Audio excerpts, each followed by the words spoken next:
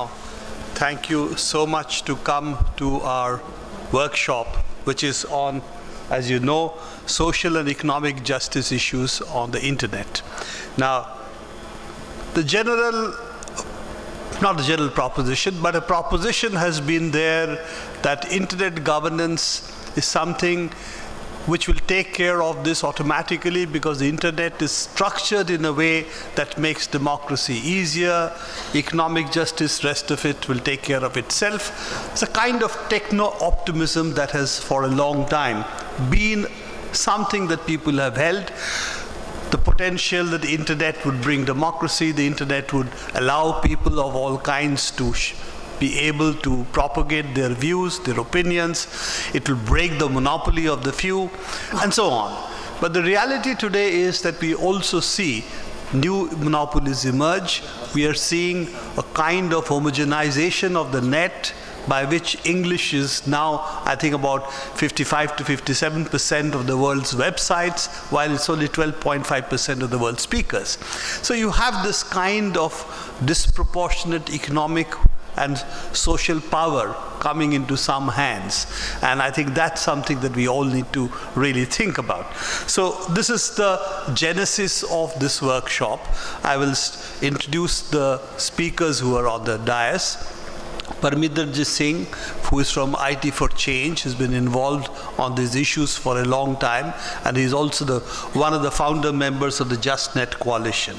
Then we have Pindar Wong, who has a really, really illustrious career.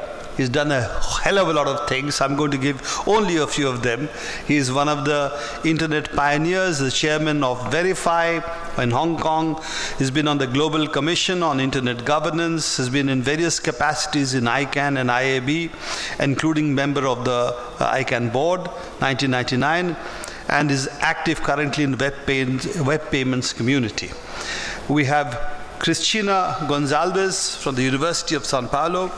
She is a part of the research group on public policies for access to information, special advisor to Brazilian Federation of Librarians Associations for copyright and internet issues. And I have Norbert Bollos, Bollow, who represents the Swiss Open Systems User Group which is in Switzerland, the leading organization for open source software. So these are my four panelists. I would request Parminder to go first and tell us what he believes are the key issues in internet on the internet regarding social and economic justice. Thank you, uh, Prabir. Yeah, before getting into describing what are the key issues, uh, actual issues, and how they pan out, uh, I think uh, the way the workshop has been structured as well is about a problem of there not being an adequate recognition of this area itself in the internet governance space. And and we we would be using our discussions as a point of departure uh, of trying to go in a new and different direction uh, we should otherwise be so mainstream in current politics. It is in terms of every uh, um, every political space and polity that social and economic issues are prime. But but in this area because of the some of the reasons which Prabir started to allude to internet governance is strangely divorced uh, from uh, focus on social and well uh, diverse from, uh, I mean, even conceptualizing economic and social justice issues.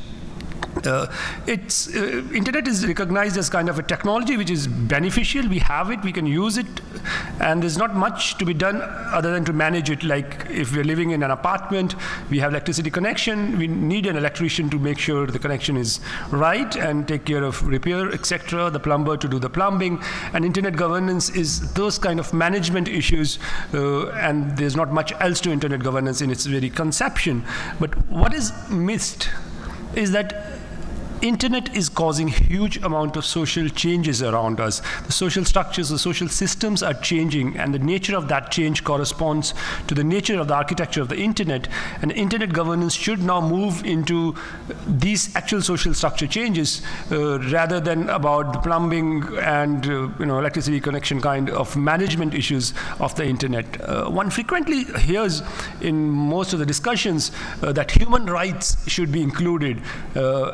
In the end, they would say, let's bring in a human rights perspective is kind of a salt that should be mixed to food, uh, kind of a kind of a thing. But and if you ask most of the groups involved here what those human rights are, they would say, yeah, of course, freedom of expression and maybe some privacy, but they would forget the pages and pages of human rights declaration in the United Nations, at the United Nations and other places, and huge amount of them being social and economic rights, cultural rights, the right to development, uh, which are completely uh, a blind, uh, not a spot, but a blind space uh, in this area. And we should uh, start uh, talking talking about these things. Uh, I, I, would briefly touch two or three areas just as illustrations. Cultural diversity is so huge an issue as internet goes to the far corners of the world. The inundation of content, uh, which is concentrated in the West in few countries causes some changes which are not beginning to be even understood and spoken of. Uh, there was a UNESCO treaty just a few years back which uh, says that cultural goods are not typical commercial goods and therefore the WTO regulations do not apply to cultural goods uh, and which has allowed many countries, France, Canada, but many others, to have quotas of uh, films which could be imported in a year uh, in, in, into these countries. But what does that really mean in times of internet where the content flows on a daily, hourly and basis uh, with unlimited pipes. Not that I'm taking a position that it should be this way or that, but those kind of issues have not at all been articulated. Second is personal data. We hear a lot of a lot of stuff about privacy as, as, a, as a kind of a negative right, but I think personal data is also a means of social control and also a personal resource. And there are no no formulations around understanding personal data as an economic resource, who's making money, whom does personal data belong to, and if, if so much money is being made on personal data, what kind of distributional aspects uh, should uh, be captured here? And it, it is uh, true in the case of what impact internet is having on health, education, etc. And I'll, I'll come back to the, some of these subjects. But the very fact that we need to start formulating a good part of internet governance and the discussions in Internet Governance Forum specifically on these areas uh, is the point of departure which uh, I think this workshop is seeking. Uh, and we would uh, look forward to a discussion on, on this. Thank you, Prabir. I would like, next like Pindar Wong to tell us what his views of internet is, and listening to him, I'm, I'm sure he's going to be provo provocative. Um, good morning, good morning, everyone. Um, just to clarify that everything I'm about to say is my personal opinion and view, so it's not reflective of any of the institutions that I'm associated with. Um, so I believe that the, the internet mirrors society and in some sense mirrors the existing injustices that are already present, but in some instances actually amplifies them. And so my operating question is, or my, my, my sort of belief is the following, that um, technology uh, does impact society. I think that should be self-evident, and that the societal values need to be considered at the beginning of the technical development process and not at the end. So let me give you an example. Yesterday we had, um, so I'm interested in the development of web payment technology, which is to be able to use the internet to basically route money. Uh, the upside for that will be that you can send money like you send email, the cost of doing so being uh, increasingly trending to zero over time. And hopefully that will unleash the new economics and the new kinds of um, opportunities to access value for the next one and a half billion people uh, to come online. Uh, the same one and a half billion people are probably also going to be the ones that are so-called the global unbanked it's not economic for people to necessarily see them as being traditional banking customers. And so what we did yesterday was before the technical development of the actual protocol itself is to solicit the views of the people here at the IGF.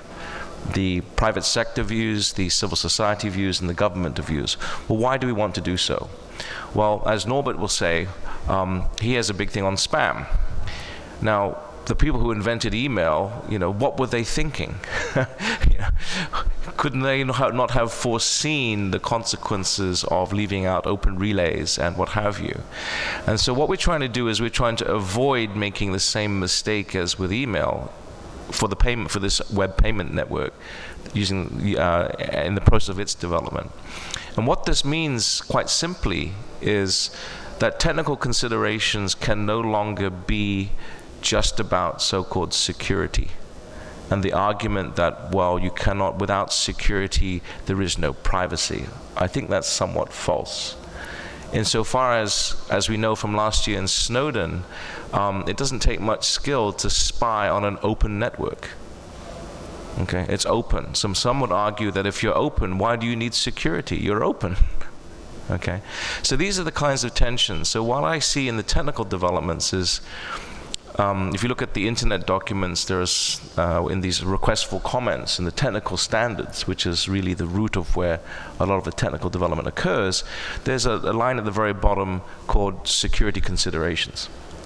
Now, what I believe is the future, and what I would like to propose here, is that in all of the policies that are being developed that are, uh, that that help, uh, I hate the word govern, but to help administer the internet, there is a similar RFC structure to mirror the technical. Why is that important? Is because if a document looks completely different from the technical document, you're not going to get engineers to read it. You're not going to eh, get engineers to take interest into it. But in the new policy documents, these new what I would call RFC policies, or what we hear the last few days called best practices, there's a specific line. And this specific line is human rights consideration. And this is part of a standard document. In other words, any future policies come out must contain a line human rights consideration. And if we do that one simple thing, this raises the profile because technology is to serve humanity, I hope. It's slightly different when there's machine to machine, but for now, we are the biggest users of the internet. Now, why is this important? So let me use another example. There are, uh, I play in the sort of angel space, and in, uh, how many of you have a smartphone? Yeah, I don't. okay, I use a 2G phone. I live on the other side of the digital divide. Um, but for those of you who have a smartphone, in terms of mobile payment, there are, if you look at angel.co, angellist.com, there's over 800 startup companies developing technologies in mobile payment. Um, you may have heard recently of uh, uh, Amazon Local Register to have a, a, a, cheap way of, of accessing credit card on your smartphone, or companies like uh, Square. But your smartphone these days has various types of biometric sensors, fingerprint scan, right? Or maybe a voice print, or maybe a retinal scan, or what I would also see going forward is the cognitive profiling which is how fast you touch certain buttons. And that's your private data, but it's captured some way. Now, what were the consequences of doing that? Well, let me share with you an example. There are startup companies that are looking at, um, for example, attaching a device that monitors how much exercise you do and, and adjust your life's, life, um, life insurance premium accordingly. So what we're seeing right now, because of globalization, is all this technical innovation, and it makes things very convenient, right? Makes it easy. And I would say that the pathway to hell is paved, been make, made very convenient. That cost of convenience has a consequence. So when you couple all that biometric information with payment, you may have unforeseen consequences, and we need to consider those social consequences, the justice, the economic justice of that up front. Let me give you another example. Um, in some countries now, to register for a SIM card, they need to take your fingerprint. Now, who made that decision? And where does this information reside? And what happens when the case, when that information, uh, the data repository is hacked? So the long and short of it is the social and economic tensions that existed previously, I would argue, are made worse by the internet. It's not the fact that the change is occurring, it's the fact that the rate of change is going to kill us. Why? Because our societies are not geared to adapting and evolving at the same rate. Now, one can talk about the generational difference between, for example, the way my kids use computers and the way I use computers. The underlying assumption, though, is that should any of this infrastructure go away, like you lose your smartphone, there is an incredible, what I call digital disorientation. So I would say the smartphone is not necessarily smart because if you lose it, do you lose all your intelligence? So getting back to the point, which is technology development is, designed to make things efficient, effective, etc., etc. But we have to clearly, somebody is responsible for thinking about the unintended consequences, the social uh, consequences of the technical development. It's not clear who, and it's not acceptable to leave everything in the hands of the engineers because we're all society. And they're good at designing protocols.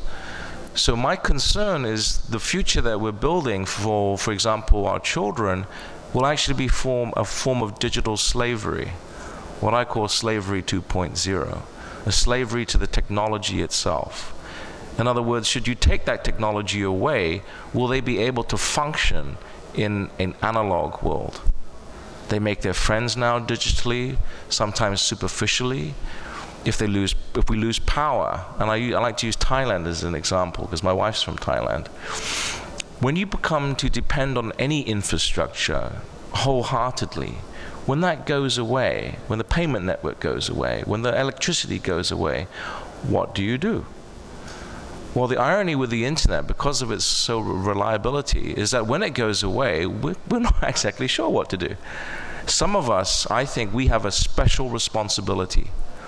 Why is this? I think we are the last of the analog digital generation. We're at that cusp.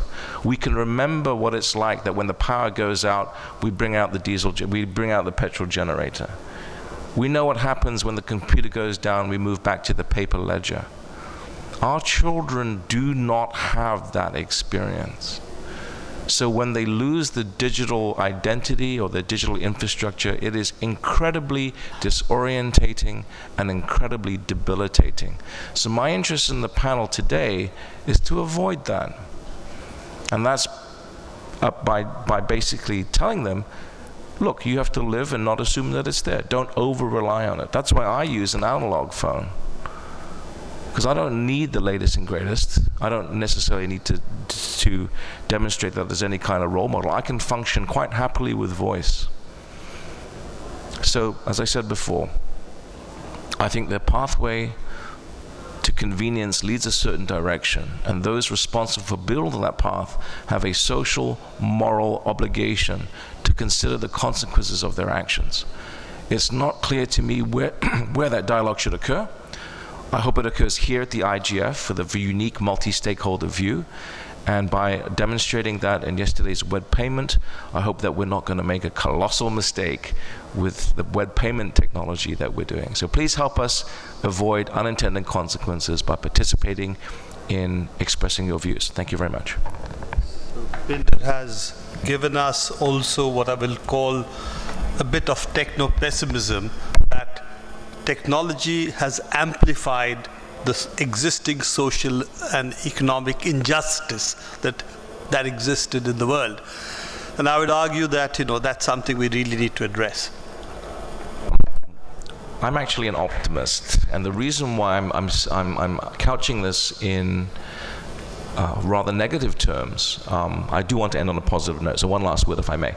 Um, the internet is an entirely human construction barring the speed of light or the speed of gossip, which I'm not sure which is faster, um, there are probably no known constraints. In other words, the problems that we solve and the fact that we're having culture clash, generation clash, technology clash, all rolled into one on a very tight two minutes to midnight, um, the actual solution to these problems, I also believe, is actually in our ability to use the internet to find solutions. Yeah. Thank you. So it's good that you gave that uh, finishing point because it's true that if we if it is going to amplify and we are passive then there is a serious problem so obviously what you're also arguing is that if we don't do it right then it can do the following things and i think that's a very important point of departure i will ask Christina now to tell us about her experience and her research as well as what she feels about these topics hello hi um, okay, good morning. Thank you very much for the invitation for joining this panel. Um, I'm gonna give you some um, an overview on the key issues that we are facing now in Brazil regarding the internet, e economic and and, and social justice development uh, related to the internet in Brazil. So I highlight some points and give you some data and bring some case that could show how how information and communi communication technologies and internet could help us to, to develop and, and where it's not working very well. So the, the, the, first problem that I would like to point out is uh, access to broadband internet in rural areas. When you look at the, the general numbers in Brazil, it, it seems like quite good when we have like 60% of access to internet in Brazil. But when you, you look at the regions in Brazil, like the provinces that are having this access, we, we, we can find like a huge disparity in that. In the north part of Brazil, we can find like only 36% of of, of houses have access to, to broadband. So I would like to, to say that access to internet is still an issue in Brazil, despite the fact that people, you are uh, developing countries that's going that puts itself at in the center of internet governance and you are not facing these issues in policies and and despite the fact that only 36% of the north part of Brazil has access to internet, you have some heroes there, like the indigenous populations. They are uh, developing uh, great projects, uh, putting their material on the internet. I would like to point out that they are developing a web radio in Amazonas, and also they are developing open educational resource to to spread information about their culture. So those are those are two good examples in how they could use uh, inf uh, information ICTs for development in, in these so small and isolated communities like the indigenous people in Brazil. Uh, the other point that I'd like to, to highlight here is uh, the public and free access to internet. Brazil just abandoned the government just abandoned this this politics on telecenters and and public access. Uh, I've been have been working. I, I started working with libraries in, in Brazil, and we are trying like to to to build a working group to to train librarians and to to to convince uh, policymakers to use their space to expand ac public access to internet. Because when you look also when you look at the numbers also you you find that 50% uh, of the low income population in Brazil doesn't have access to internet. And and 68% of this low income population don't have access access to internet or don't have a computer because they don't have a computer. And why they don't have a computer? Like 48% of of these people don't have a computer because it is too expensive. So if we you provide those people with public access to internet, for example, in libraries that already have an infrastructure for that, uh, you can like try to solve this problem. That, Like almost half part of the low-income population not having access to internet or not having a computer. So the other problem is the software development in Brazil. We are extremely dependent on the north, on the developed country software uh, development. We have only two companies in Brazil developing free software, and about like five companies developing now national na national software.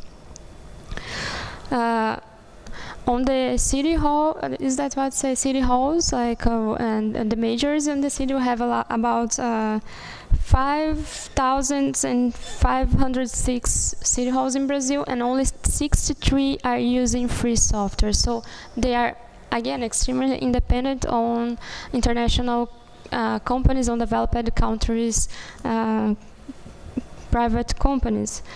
So why I'm saying why I'm talking about software because when we talk about the right to privacy and freedom of expression, it's really important to us to not be so dependent on United States. I, I know we have been talking here a lot since last year about the Snowden revelations, all the problems with surveillance. So it would it, it's also a development um, issue. The develop the having like national softwares and not being extremely dependent on on technology on, on technology. Um, so also our, our technology device and, and hardware is, is, is, is you, ha you, have no national production of, of, of hardware in Brazil. So it, it also makes us very dependent. We have some good policies like the, the CGI.br policies with internet exchanging points. We have uh, almost 20, we have 23 uh, internet exchanging points in Brazil, which makes the internet more resilient, uh, faster, and some, sometimes ex expensive, but it, it doesn't solve uh, the, the privacy problem. Um, the other problem is the open open access to research. Uh, um, we are also very it's, it's like a, a speech about dependence uh, is are very dependent on on the, the, the scientific publications from European and US based publishing house. And you have like five major pub publishing houses in the world, and they sell these materials to public universities in Brazil. But uh, we don't have some, most of the times we have to struggle with these publishers to, in order to, to, to have the right to store this research material in, in, in our libraries and our repositories and if you just not have a contract with with these publishers anymore uh, you just lost all the material that you have already paid so this is also a problem that we are facing now in Brazil and try to develop more be a better policy on open access and copyright. And another issue is the gender, the gender issue. I know some statistics says that you look at that and you have like uh, gender balanced, like you have uh, seventy percent of women having access to internet, while you have seventy three of the men having access. So it's quite balanced. But again, when it comes to the development of software engineering and, and things like that, that are also impor important for economic and social justice, we have only 7% of women um, enroll as a computer engineer in universities in Brazil. So that's a, a pretty small number. And so what are the, the solutions? Well, of course, we advocate for more public policies on that, but in Brazil, uh, the government always uh, presents like the private private-public partnerships as a good solution. Uh, we are the findings are that some most of the time there is little civil society participation on those private partnerships, and also. Um, they're not very transparent on their results and and and what are they are really doing i mean what's the, the product of those part partnerships. So they spend the, the money that they are spending and, and things like that. So i will leave like for debate. Like they have lots of issues but Thank you, Christina, for bringing out the fact that even when the figures don't look so bad, they could hide really sharp disparities within that. So that's, I think, and the need, therefore, for policy interventions for different in different ways in different areas. I think that's a very important point. That's not enough to look at the numbers, but look at also what's happening behind the numbers. I'd only add one point that we must consider that for a lot of the developing countries, the access to the internet is not going to take place through the computer, but probably for that thing that Pindar was critical about, the not so smartphone, or the smartphone that makes us not so smart. So I'll, I'll hand it over to Norbert to tell us more about these issues, particularly what's happening on payments and other issues which are of vital importance to the world, that section which is not on banking. So how do you really address that? Pindar has already talked about, but Norbert is also passionate about that. So let him do that and also touch upon open source software. Thank you. I would actually start by mentioning that Switzerland, even though the Swiss statistics, they look wonderful, um, actually shares a lot of the problems that Christina has been pointing out, especially in my area of interest, which is software. We are also in this position of dependency. Switzerland does not like to be counted among the developing countries, but uh, really, if we are honest, I mean, we don't have Microsoft, we don't have Google. Well, there is Google, big Google um, plant, but still, the decisions they are made in the US. We don't have control of the software on our computers except for the relatively few of us who like to use free software on our computers, we have some freedom. We can change the operating system when we like. With the not so smart smartphones, it's a bit more difficult because they try to prevent us from putting the software that we want to put there. So that is the problem. Going back to what started this whole IGF process, the World Summit on Information Society, that actually also started in Switzerland in 2003. We had the first of these two summit events in Geneva, and there was a governmental declaration developed, and as civil society was not quite so happy with the direction that was taking, there was a civil society declaration that very clearly pronounced the very people-centric vision of information societies. So really, since 2003, civil society put out this banner, we want a people-centric thing, the opposite of slavery 2.0. To be honest, not so much has been happening with that when we read that document again, it has aged very well. It's still a very excellent document. It has a very good section on free software, for example. Free in the sense of freedom. This is not a matter of price, it's a matter of the freedom to be able to change the software to make it do what you want. And that is also important for people who are not programmers because they will probably know somebody they trust to give them advice. And if if it's free software, that trusted friend, that trusted person can give them something that they can trust. And you, you can never trust a corporation, that, that simply doesn't work. So, in order to have a people centric society, we really need to move away from this um, slavery type of software system. It's a, it's a whole business ecosystem and we must move to a system that actually gives people the freedom they need in order to be able to trust whatever they have. Coming back to Switzerland, Switzerland has some advantages. One big advantage is it is a small landlocked country, which means it never had a naval power it never was tempted to get colonies and make the world mad. It was always small enough that people never got afraid. Nowhere in the world there's a country that is afraid of Switzerland.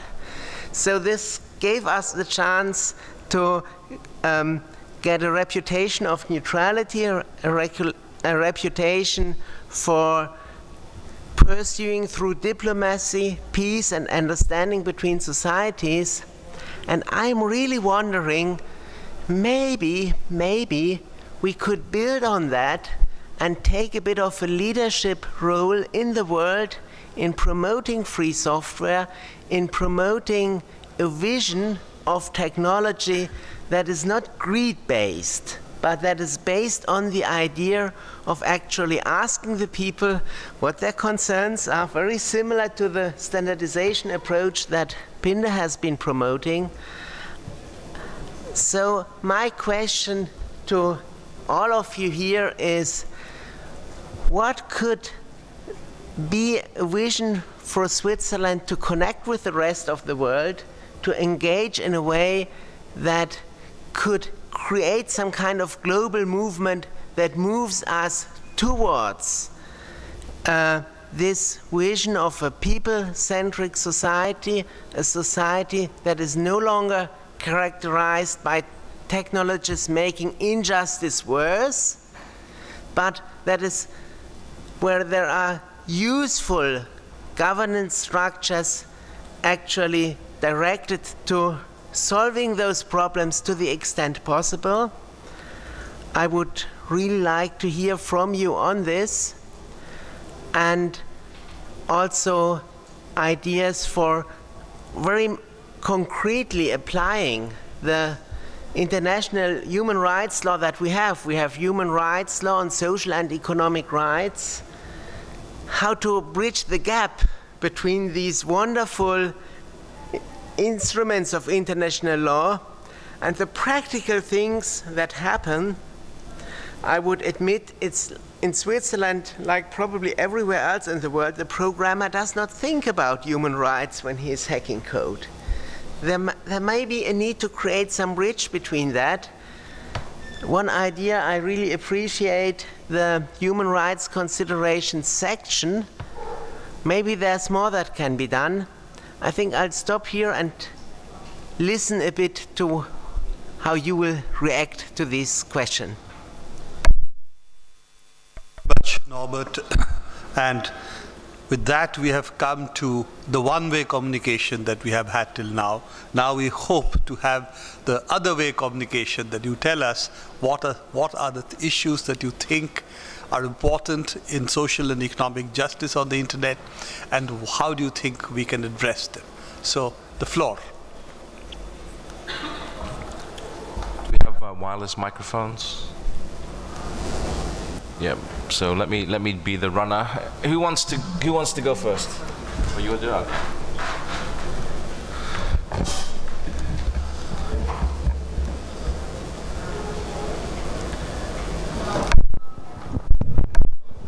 If there's no one going to go, any, anyone? Prashant is going to go. Prashant, ask a question. Okay. if nobody's, yeah. Start the ball rolling. Okay, I, I'll start the ball rolling and then do the running. okay. See the, um, I mean, often the debates here is around multi-stakeholder model and all that, but what we have been increasingly seeing, uh, whether it's discussions in various panels or anything, is like the predominance of the corporate sector. You have monopolies in various areas, then issues with software, with uh, things not being open, things people are not being able to change anything. I mean, prices being so high. So, uh, especially when it comes to the area of internet governance and, and issues like open access and copyright, where there is like people are not able to access. Whether when you look at the uh, developing countries, especially, there's a problem with people not being able to access the knowledge online, people not being able to access because of the repositories are held by a few companies. So what is it that we can do to move this dialogue from a, let's say, corporate-centric dialogue to a more, let's say, people-oriented and um, which should help the society in a better way?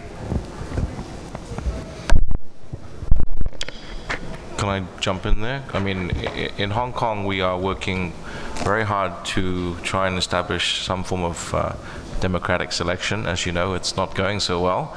Um, but we, before we um, we learn to vote with our hands, in Hong Kong, we we learned first thing is to vote with our feet. And what I mean by that is that the power to determine what you buy is actually with you. And so you can always determine what you what you install on your machine but as I said, it may not be as convenient as some other um, um, software.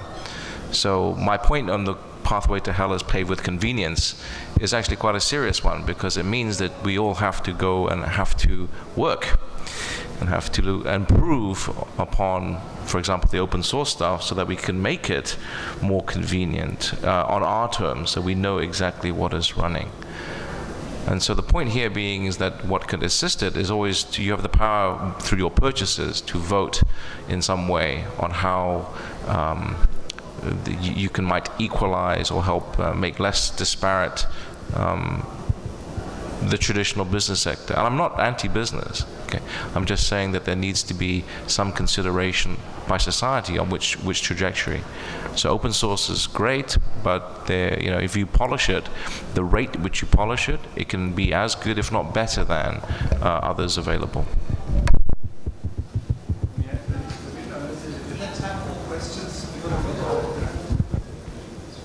Anja? I've been volunteered, it seems.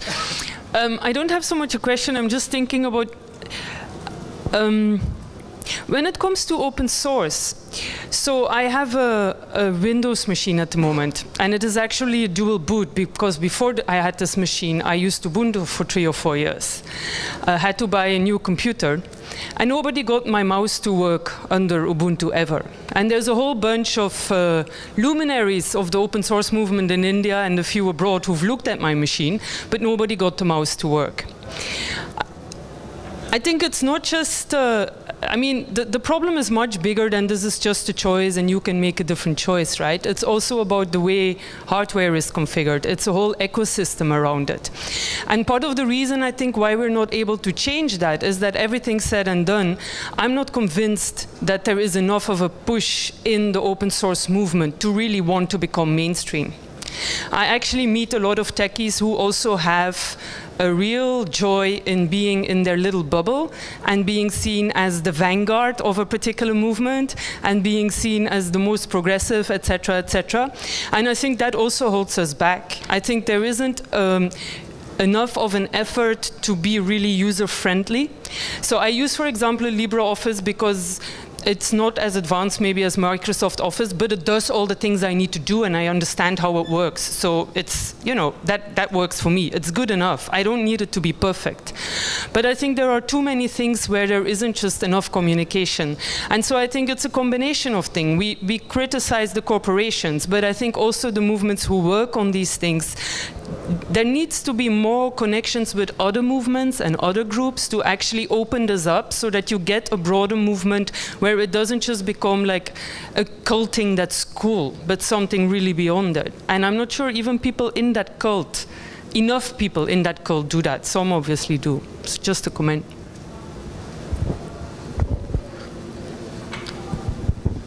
More questions?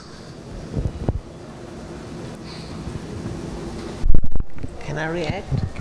Hi. Um, I'm sorry I didn't make this announcement first. Will you please identify yourself before the question? The last questioner was Anja Kovacs. The first questioner was Prashant Sugathan. I'm introducing them because they did not. Hi, I'm George Fong from the Internet Society of Australia. Um, just a couple of comments. Firstly, I'm interested in the open source comment. In Australia, um, we've had um, a preponderance of commercial software, and I'm not sure that that's a matter of it being forced on people.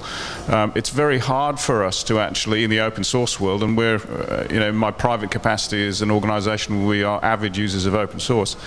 Um, we try to promote it, but we're regarded as a little bit as like weirdos um, in terms of it's not Microsoft. Um, so there, I think I agree that there is a culture change that needs to take place.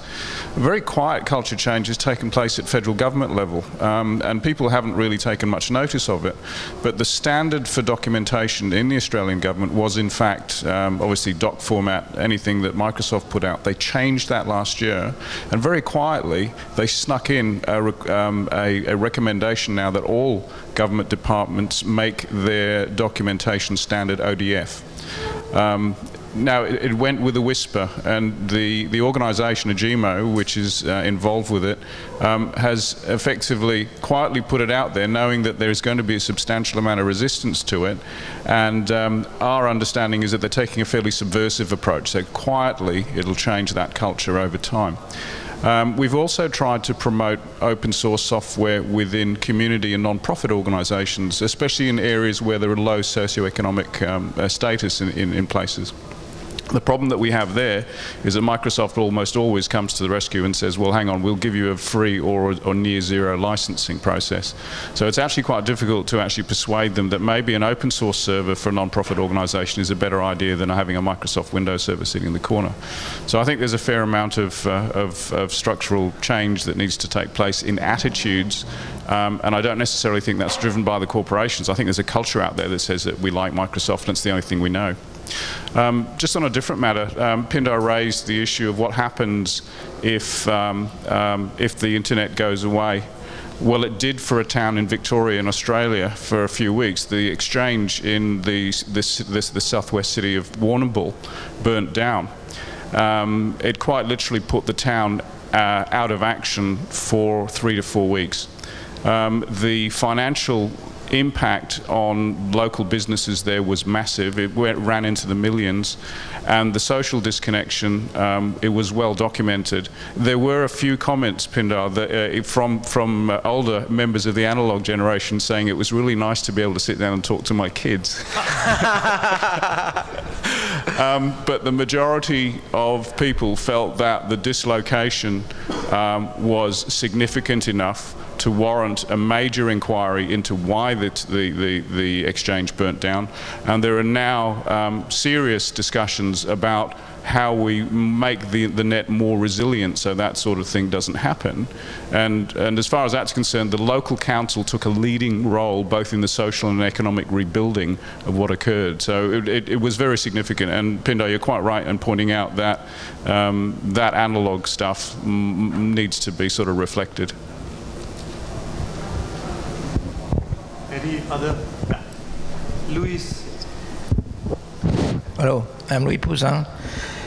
Uh, just a little point, you know, there are many things we could cover about the insecurity of the internet. But uh, let's say it like a, a, a, small point. Microsoft is dominant. Microsoft is proprietary. XP is no longer maintained or distributed. My point is any software which is abandoned by the uh, producer should not be covered by copyright for 95 years. It should become automatically open source. And it would be improved by volunteers. Interesting legal point that if the government should actually do that, otherwise everybody locked into that legacy platform, there's real problems on that. Can I just jump in there? We, we will actually oh, have okay. the panel respond. I'm just misusing my power. Any more questions? Okay, so I'm going to throw in one more question that yes, okay, free and open source software has its problems is there something that we need others to do, like governments, to support something which is not proprietary? Should we not have policies like the Australian government talked about? That isn't there for a need for public policy and not just cult figures to promote open source? That's question number one for the panel. The second is if free and open source is one answer, is that the only answer to the question of social and economic justice on the net? So what are, what are the other things we need to do? Who needs to do them? Can the panel address that? So I will go in the reverse order as I started for the response. I will start with Norbert first, then Christiana, then Pindar, and give the last word to Parminder. Apart from, of course, the chairperson, moderator. Okay, there were so many things said and asked that I would have liked to comment on. It will be difficult to remember them all. I will start with Anja's comment and ask a question back. Yes, but how? um, in our group, in our community, there have been quite a few attempts to convince um, other civil society groupings to try and join forces in some way um, not only by trying to convince them to use free and open source software because it's somehow more civil society um, ideology compatible, but um, there have been lots of ideas and it hasn't really worked so well. So we are quite interested in ideas that will work for this. Um, I would comment a bit on the idea that maybe the governments should do something. And this is actually very much related to the broader question of society because in a de democratic society, at least in the ideal, there will be a public discourse that informs the actions that governments take. We all know that uh, the concrete, practical, existing implementations of democracy are not quite um, that totally um, based on the public discourse. They are to a significant extent based on lobbying. The companies that have a lot of money, and that is typically the companies that have some kind of lock in, some monopoly position. They milk that monopoly to get money, and then they use that money to lobby the government so that the government cannot do anything that would endanger their monopoly. This is this kind of vicious cycle. So, one thing that has been done in Switzerland is to create some serious lobby work. Um, there is, since a few years, a parliamentary group on digital sustainability. It's an official parliamentary group of the Swiss parliament. All of the major political parties have some members of parliament who participate in that group and they regularly make interventions in parliament to promote open standards and open source and all that also privacy and a lot of other good topics come out, out of that group. So that, that is one way to try to bring this whole kind of concerns into a mainstream political debate.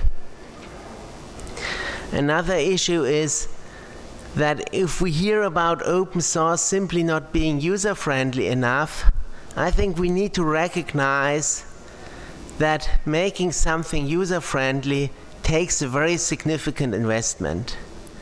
It takes, it is relatively easy for a programmer to hack together a bit of code that does what he wants it to do as long as the person using it knows exactly what happens inside. it, it, it's not so easy to remove those assumptions. It takes investment. One way to get that investment is actually for governments or really any large customer to say we want something that has good usability and that is free software. There's no reason why that cannot be said and if the demand is there then producers will be there. Put out public procurement for a system which has this and this and this properties which must include usability, which must include a free license. And if you do that, what will happen is you will not only get software, but you will also get local competence. Because if it's free software, suddenly it will not only be the big international technology companies who have the competence to deliver and develop and improve such a solution, it will also be local companies when you create local demand, for example, by means of a government policy of procuring such a thing, then you also create local competence. I think it's a pretty promising development strategy, not only for this kind of developing country where I come from, Switzerland, but also for the more traditional type of developing country. Don't like Switzerland suddenly becoming a developing country, particularly after what you've done to the banking industry for the last hundred years. But we'll let that pass.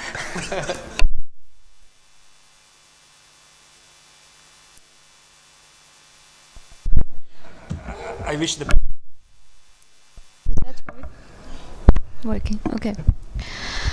Um, on the questions about on the question about uh, policies and what could be done. I mean, on what could be done, I think we have so many layers of actions. Uh, you have like the law reform, so we could work for um, copyright law reform on in the national, international forums. Because in Brazil, uh, software is not protected by copyrights; it's patent.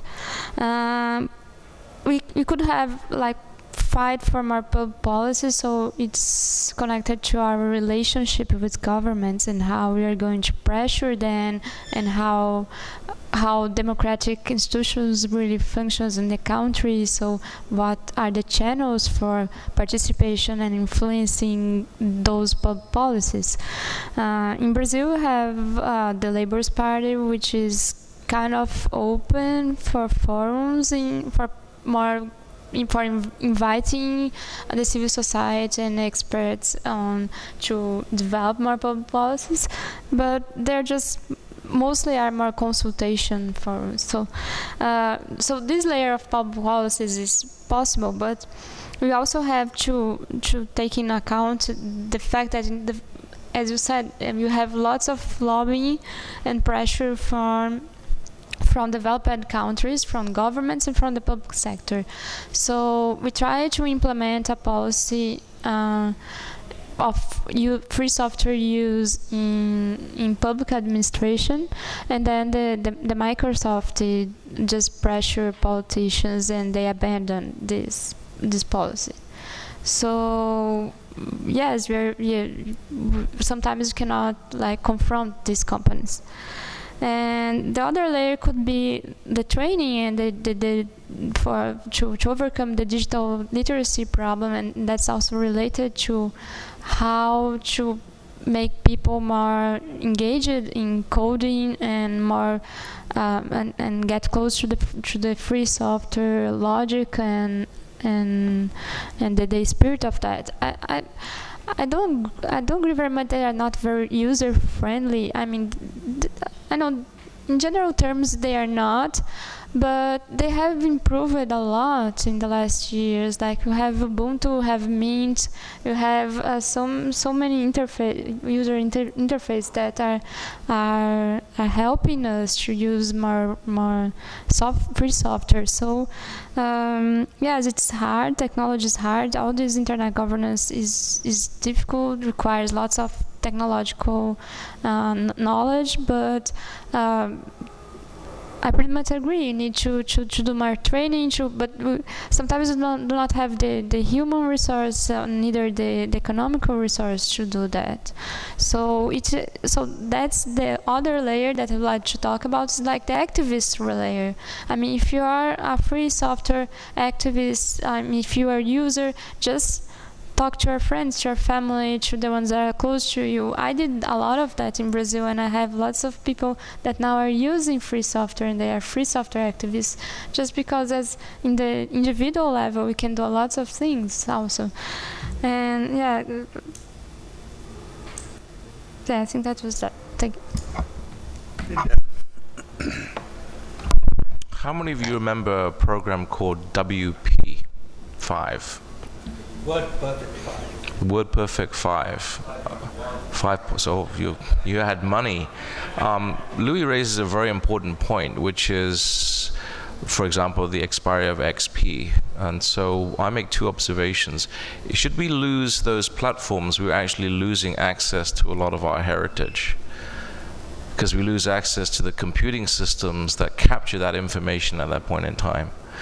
And so I think the suggestion of looking at how um,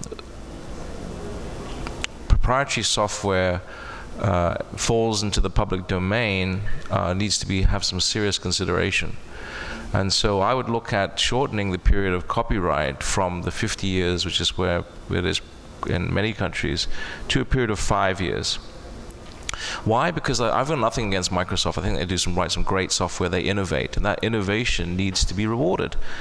but the time that they have to the, the I talked about the rate before, which is the rate of innovation. Five years software is a long time in the software industry, and their ability to monetize that probably is going to be maximally 80% or something like that in the first five years. Why? Because of the rate of change. And so I think one of the root problems is the length of the copyright period, which in theory, after the copyright expires, things should fall into the public domain. If you have a construct where it's 50 years, well, 50 years, we were probably doing things with vacuum tubes, right? So you cast 50 years ahead with the technology cycle and mobile. The reason for also um, being very focused on open source is to be able to access to those content that were developed at the time. So copyright and the period of duration of copyright, I think, is one thing that has to be seriously looked at. Having said that, I believe in peaceful coexistence. So this is my laptop. It's Xen, it's a hypervisor in which I run a Windows virtual machine together with five other machines, one running Ubuntu, what have you. So they can coexist. And that polish you talk about, that's a lot of work and that does need to be rewarded. But the question is, after the period that it reward that you reward, and you've you've invested your infrastructure on it, and that platform goes away, like an XP, that's a social consequence. That's a huge social cost. So what does this mean? It means that the problem is with the accountants. Okay, I think we need to really seriously look at how we align incentives by changing the way we keep score. If we purely value things in the well-known monetary terms, and if we always boil things in monetary terms, we're missing most of the problem. Let me give you an example. If you had to pay an hourly wage or rate for the time that your mother spent raising you, how much is that worth to society? So I believe that a creative accounting and looking at the ways that we change how we measure the societal contributions does need to be looked at. Let me give you another example. I'm trying to, I, I helped introduce uh, Creative Commons to Hong Kong. And we've been trying to introduce copyright exchanges to legally license copyright instead of ripping people off. The interesting thing is going back to the payment issue, the cost of routing money. Why? Because again, if you're trying to license a photograph for 50 cents, you may take you $20 to route the money. So that's why I'm interested in the payments aspect. But the accounting aspect, the United States last June changed to um, a new accounting measure by the UN that has uh, an alternative measure for the value of intangibles, these intangible assets. And their GDP numbers went up by equivalently of a small country in Europe. That's purely by the change in how to keep score. So I think the creative aspect is how do you align interests for societal interests, maintaining the commercial interest in um, innovation, but rewarding both. And I think that really is an accounting issue. And society can decide how we reward that. And the example, recent example, is uh, the, how, the measurement of the value of intangibles. The other reason why this is important is what do we trade on the internet? We trade intellect, we trade uh, information goods, virtual goods, right, digital content, and that's owned by somebody by nature of copyright. And so we have a very, we have a, a fundamental economic interest because unlike the analog world, the digital world, effectively, we have an unlimited resource. Un, well, we're limited by our creativity, whereas the physical world, we are limited by our access to natural resources. So if digital economies and developed economies like Switzerland um, can continue to grow, they must find a way to measure the production and sale of non-tangible, intangible goods, because that can also continue beyond their access to resources. So fundamentally, how we measure, measure the societal, these intangible contributions, what I would largely call an, uh, uh, an accounting issue, is how I believe the key to aligning societal interests and corporate interests. Thank you. It's an interesting issue that we actually treat the tangible resources, the common resources like air, water, and so on, as if they're infinite, while we teach, we'll treat the digital world, which is infinitely capable of reproducing itself, as if it is finite. So we have this fundamental dichotomy, and that's really created by property. So that's where it comes from. I will ask Parminder to now give us his views on the topic after having heard all the questions and the participants. He almost gets the last word apart from me.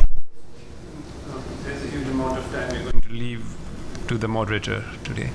Uh, yes, I mean, uh, I'm, I'm thinking of the questions and I remember the top ones and I'll try to respond to them.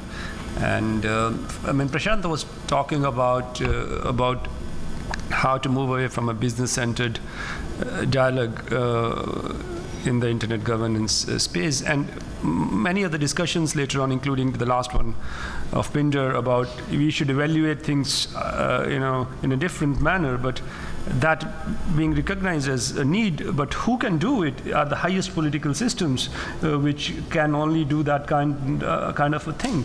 Uh, and, and it's important to see that the last about 10 years of the internet governance dialogue has coincided with a huge amount of uh, the lost paradise of the internet period when consolidation and centralization of the internet has taken place.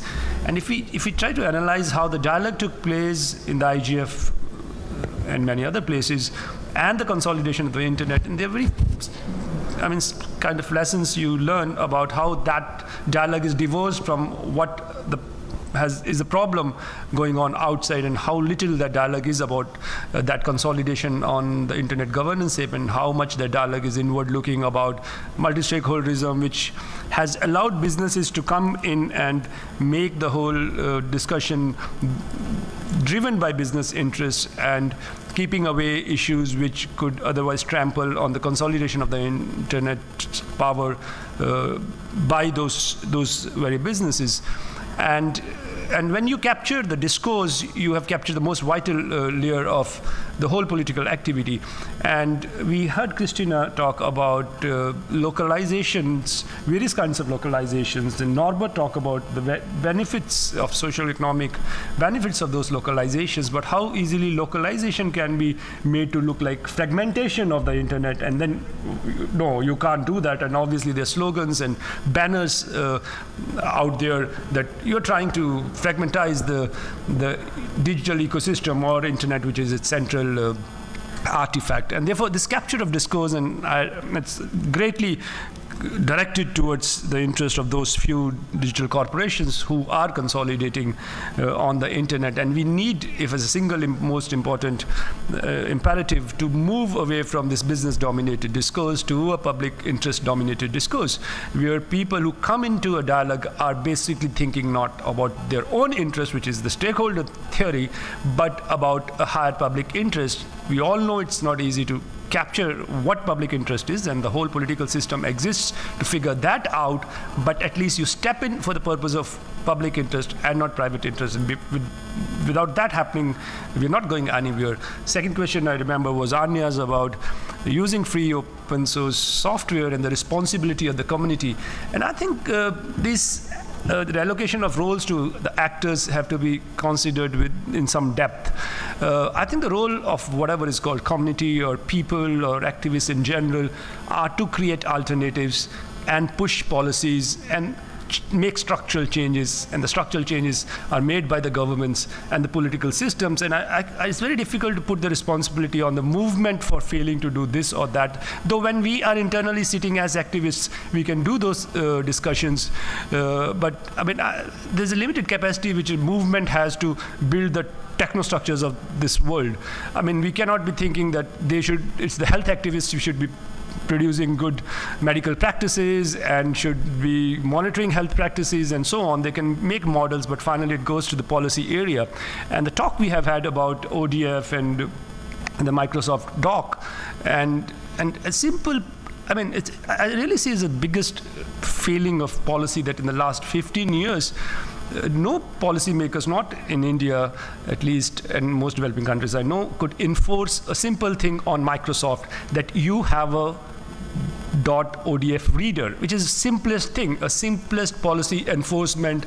You have a ODF reader. We are not even asking to go any further, but if somebody gets an ODF document, he should be able to open it on that system this simplest policy thing has not happened and because of that I could say that the percentage of people who would have liked to use Ubuntu and other Linux systems would have shifted 10 20% because I know a lot of people whose main problem is that okay when I, I send documents out in ODF the other guy is not able to read it and how long can I keep on sending documents in the ODF the very simple policy things has not been have not been possible because Microsoft has been able to work its way into the corridors of power and controls the policy making.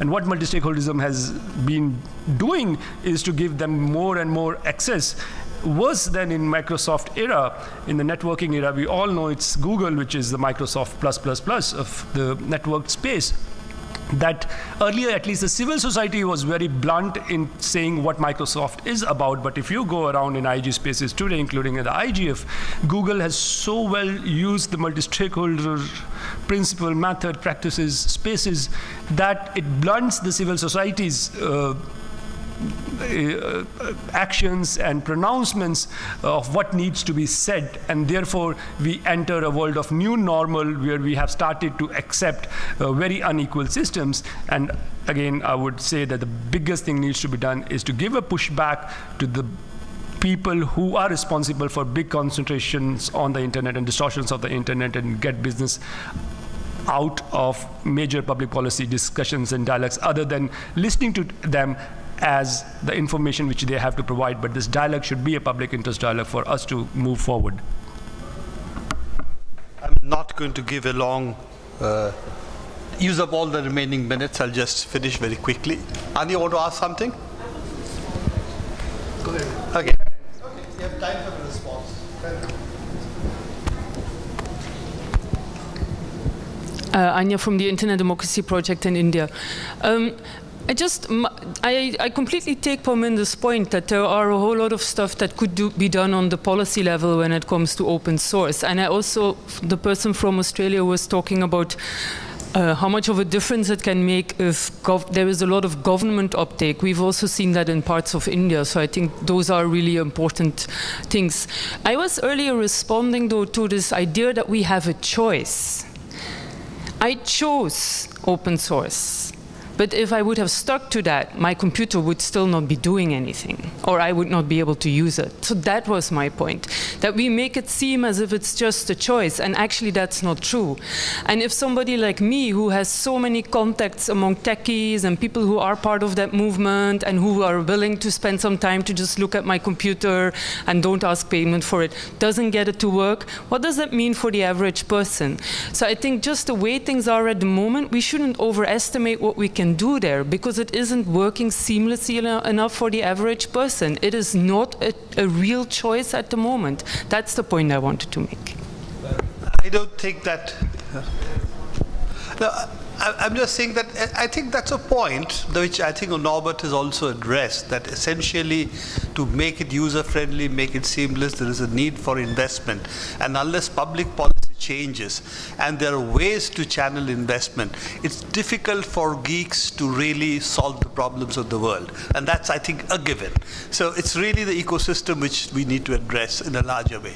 I, am going to. Uh, yeah, may, may I say something? Just bear why not we start to develop like uh, open hardware? Maybe that could be a good policy to mm, help this problem. Yeah, yeah. it's an idea also address the other problem that unfortunately proprietary software is tied to proprietary hardware.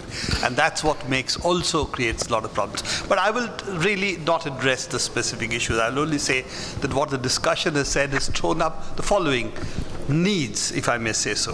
That one is that you need national policies to support free and open source initiatives. I think that's something that is clear, but they're at the national level because governments can do that. It's not at the international level. Internationally, we can push for this, but it's really at the national level that we can do it. We had a big international battle on the document format. Unfortunately, it became 50-50, so we won't go into that. But really, it's a national battle that we need to fight. Similarly, when you take, when you talk about how the internet has to have justice built into it, what Pindar was talking about, Norbert talked about it, that techies have to be addressing issues of justice when they do the code. If you really take that into consideration, again, issues, for instance, net neutrality, which, which really address some of the issues that are coming out that you should not be able to use the net unfairly. Again, they are national issues in the sense that all the countries today have laws which deal with these issues or regulatory system which deals with these issues and we need therefore to really fight at that level. The last point, and I think to me that's a very important point that we need to also address, that originally internet was supposed to be connecting the edges now, if you connect the edges, then each edge forms comes into under some national jurisdiction and therefore you can control them. Today, as the internet gravity, center of gravity seems to be shifting to YouTube, to Facebook, to various other platforms which are there, and finally the cloud, what is happening is very clearly that all the major cloud or internet's big companies are essentially from one country, and which is the United States. If it is from one country, then only regulation that applies on it, only laws that applied on it are then the United States laws, no other laws. And one of the consequences when you come to things like mass surveillance is 4% of the world may have the Fourth Amendment protection, but 96% of the world does not. So I think these are the issues which demand if the center of gravity of the internet moves to the to the middle space as it were which is controlled by the United States unless you have international treaties, international regulations, I don't think we can curb either the police power, the security power of the United States on the net, or we can curb the monopolies on the net through regulation, which you can do nationally. I don't think we can do it internationally, particularly as the US policy today is monopoly is not too bad. As long as it helps the American economy, they're really not going to address it. So I think we need both from the point of view of mass surveillance, which has been at least a big issue with the Snowden revelations. But also for economic reasons, we need to think how internationally we can address the monopoly power of certain companies through international regulations, if you will, and therefore the need for international treaties, not only taxation, which is being discussed, but also the monopoly power of the companies net, for instance, we talk of net neutrality. What about platform neutrality? What about neutrality of ranking that Google provides by which it can make one company much more profitable profitable than the other, and that company could be subsidiary. So these are the things we need to think about how to do it, and I think there is a huge policy space for global issues which we still have to tap with the new emerging architecture of the internet that we are seeing. And of course, we have already the issues like open hardware have been flagged, legacy software, and I really think the five-year uh, uh, part for software, copyright issues have been flagged, and it's not 50 years Pindar, it varies from 50 to 105 years. So it's really all those issues we need to address. Thank you very much for coming here. We have thanks to all of you for listening so patiently to all the speakers and also asking questions. Thank you.